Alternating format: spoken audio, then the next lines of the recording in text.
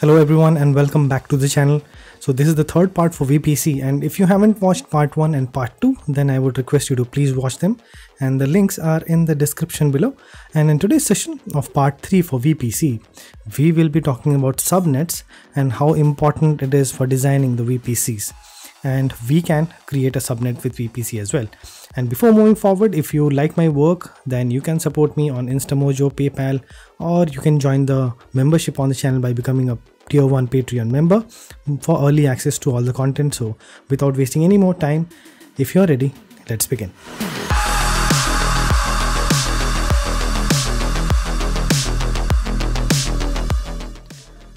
So I hope you remember the things that we discussed in our last session about CIDRs and security groups and we were able to understand a few things about uh, subnets.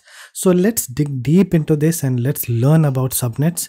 And when we try and imagine VPCs and availability zones and subnets and subnets as a part of the availability zones, I want you to always have a picture in mind that you are the one who is designing the VPC and there are availability zones within which you create your subnets.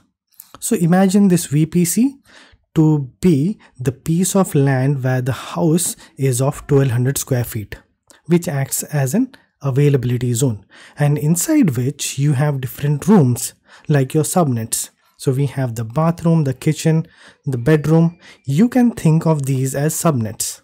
So there can be many rooms in the apartment, but the only thing is that you don't create the apartments. Just like you don't create the availability zones.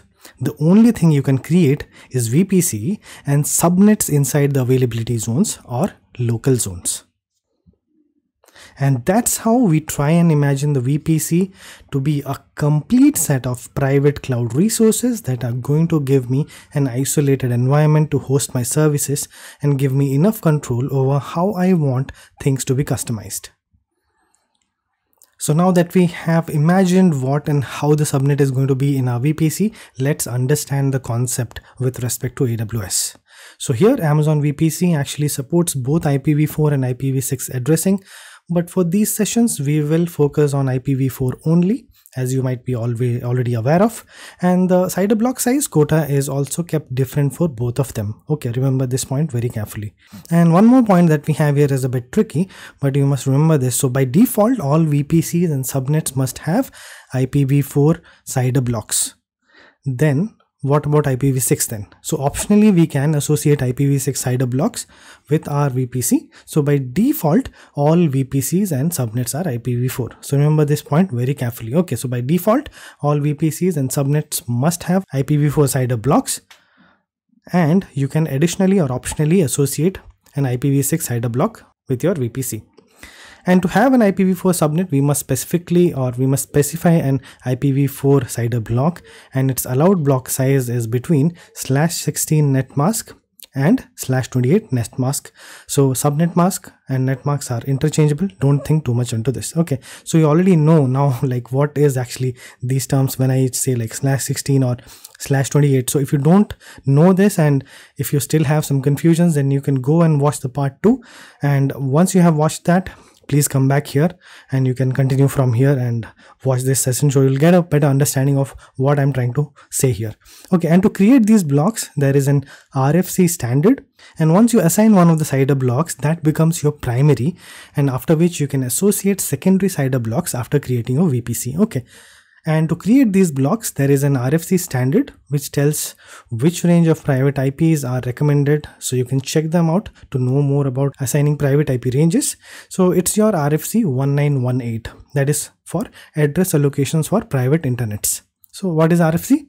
Yes, that's a task for today. So comment below what is the full form of RFC and I'll put a heart on every right answer. Okay, so comment below what is an RFC why am I telling RFC 1918 that is for address allocation for private internets. I want the full form for RFC so next if we check the chart here if the private IP range is like so if your IP is ranging from 10.0.0.0 to 10.255 255 255 your VPC must be slash 16 or smaller. So for example it can be like 10.0.0 slash 16 and if it ranges from 172.16.0.0 to 31.250.255 it must be smaller than or slash 16 or smaller than that okay so you can have it like 172.31.0.0 slash 16 and if it ranges from 192.168.0.0 till like 192.168.258.255 then it can be smaller than that as well. So it so it can be smaller than slash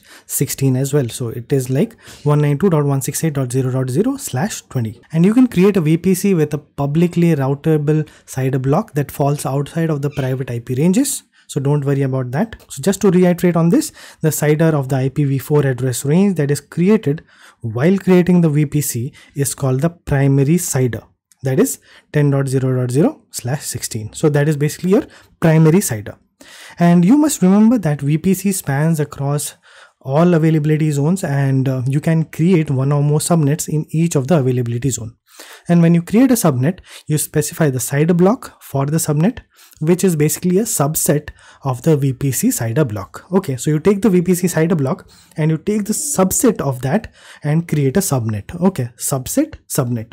Okay, remember that. So subnet is a subset of the CIDR block. So as I've already told you twice or thrice now, each subnet must reside within one availability zone. And speaking of subnets, it's not fair for us to not speak about the types of subnets. So let's check them out. So the first one is the public subnet. So the general definition states that if a subnet's traffic is routed to an internet gateway, the subnet is known as a public subnet. Okay. So if a subnet's traffic is routed to an internet gateway, then that subnet is known to be the public subnet.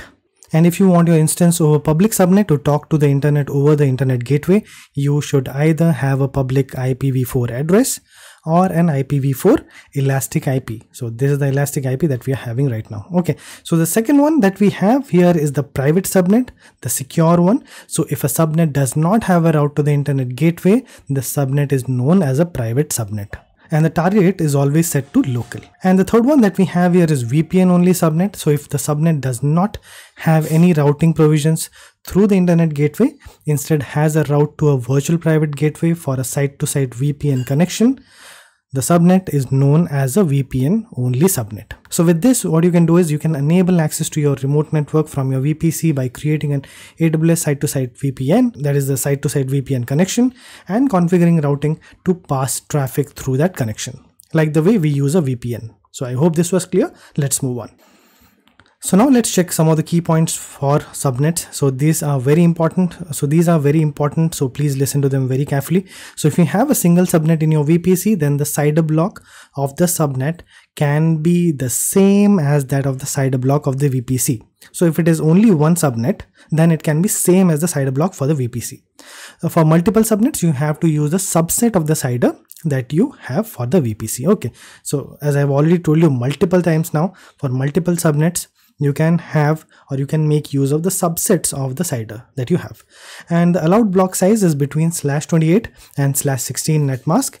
And if you create more than one subnet in the VPC a CIDR block of that subnet cannot should not overlap uh, you cannot have that overlapping. Okay so forget about that. And there is a site below that I have mentioned that you can use to get ideas of how you can design subnets. In this site it will show you how you can divide your VPC CIDR block into number of subnets that you want. So if we see the example here for us that we have like 10.0.0. slash 24 so let's suppose this is our CIDR block for the VPC which is targeted to have 256 IP addresses. So we can divide this into two parts. So the first block that we have here is 0.0.0 slash 25. Okay, so that will range from 0.0.0 hyphen or to 127 IP address range. So that will be the CIDR block one. So the next IP block will be starting from 128 to 255. Okay, so that will be our block two. So you can divide this into two parts by using this one. Okay. So let's suppose I had to divide that into four parts, then what will I do? Then each one will be having 64 IPs. Okay, so 64 means, so as 2 to the power of 6 is 64, then what will be the block then? So you have to subtract 32 minus 6. So 32 minus 6 is 26. Okay, so so it will start from 0.0.0 to 63 then from 64 it will start again to 127 then from 128 it will start to 191 then from 192 it will go to 255 okay so in that way. So let's suppose i have slash 24 then i can divide it that way. And if suppose i have slash 26 then it can be for four parts as well. Okay so you might ask me 256 ip addresses. I got that. But you might ask me are you sure all of these ips can be used so I would say that, yeah, you might be correct on this one. Not all of these IPs can be used. So let's see what are the pointers in this context. So what AWS tells us is that the first four IP addresses and the last IP address in each subnet CIDR block are not available for you to use and cannot be assigned to an instance. Okay, so remember this very carefully. First four IP addresses and the last IP okay as you can see in the diagram as well so these are the first four ip addresses and this is the last one. Okay so this is the CIDR block.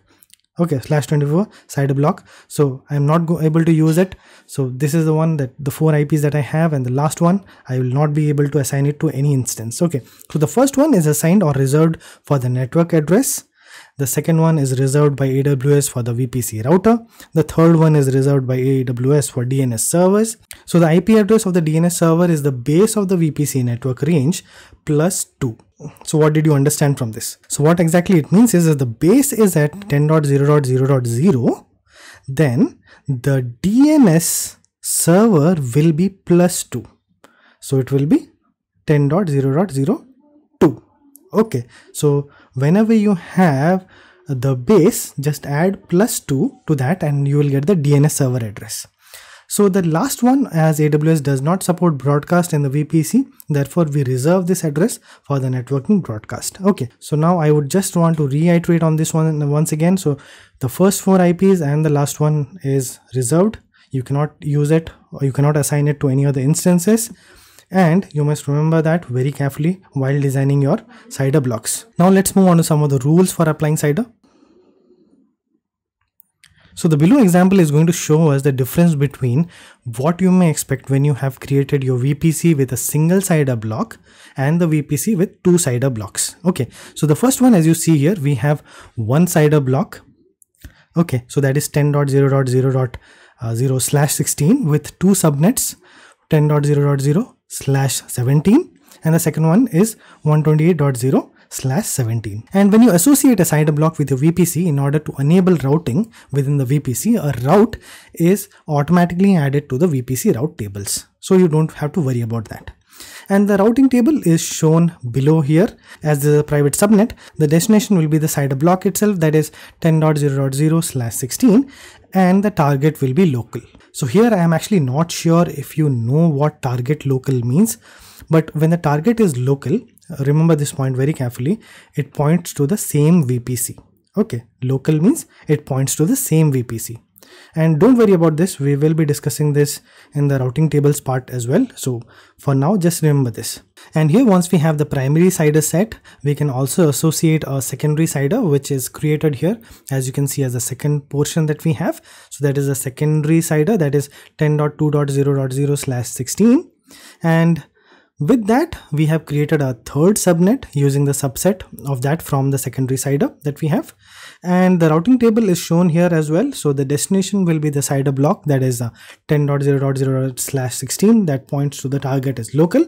And for the secondary CIDR as well, we have 10.2.0.0 slash 16 and that will be also pointed to the local okay so any direction any instances that are pointing towards this or trying to use this will have to go through the main route table that we have and it has to pass through the CIDR block itself okay and let's check the rules for adding CIDR blocks to the VPC so the first point that is very important for us so i think we have already discussed this so I, the allowed block size is between slash 28 and slash 16 net mask and the second point that we have here is the CIDR block must not overlap with any existing CIDR block that's associated with the VPC. And remember one thing, you cannot increase or decrease the size of an existing CIDR block. So please be careful when creating one. And you have a quota on the number of CIDR blocks you can associate with a VPC and the number of routes you can add to a route table And CIDR blocks must not be the same or larger than a destination CIDR range in the route table or uh, in a route in any of the VPC route tables because of basic common sense. You cannot fit a 17 inch laptop in a 15 inch case, isn't it? So you must remember that the CIDR block must not be the same or larger than a destination CIDR range in a route in any of the VPC route tables. Okay. And when you add or remove a CIDR block it can go through various stages right from associating to associated to disassociating to disassociated to failing and then failed and if it is ready the CIDR block is ready for you to use when it's in the associated state okay so remember this very carefully associating associated disassociating disassociated failing and failed and if it is ready then it has to be in the associated state so it has to be associated, isn't it? Yes. Now let's see one of the two most important topics that we have. So subnet routing. Uh, so as you know this already, let me put this across once again. When you associate a CIDR block with your VPC, in order to enable routing within the VPC, a route is automatically added to the VPC route tables. And each of the subnets we create must be associated with the routing table. And the good part is that every subnet that you create is automatically associated with the main route table for the VPC. And here you can see this is a very important example or a very interesting example here that of the VPC only gateway with the custom route table that we have. So any traffic destined for a target within the VPC that is so 10.0.0 slash 16 is covered by the local route and therefore it is routed within the VPC. And all other traffic from the subnet uses the VPN only gateway with site-to-site VPN connection. And we will learn more about this in the routing table concepts as well, um, so don't worry about that. And for the security point of view, AWS provides two features for increased security in your VPC. So one is with the security groups, which we all already aware of, and with network ACLs or what we call as network access control list. So the way we are trying to keep it secure is that security groups actually control inbound and outbound traffic for your instances and network ACLs control inbound and outbound traffic for your subnets. Okay, so one is for the instances you have and the other one is for your subnets itself. And the good thing is that every subnet that you create is automatically associated with the VPC's with the VPC's default network ACL. And to ensure you have the audit in place, you can also create flow logs or the VPC flow logs from your VPC or subnet to capture the traffic or an individual network interface as well and that can be published to CloudWatch logs or AWS S3. So that actually makes it very reliable when it comes to audit or debugging issues. So that's all for today's session. I hope you enjoyed this and uh, make sure you check out the other parts of VPC if you haven't. The links are in the description below. And if you wish to support me, the links of Instamojo, PayPal and Patreon are right in the description below as well.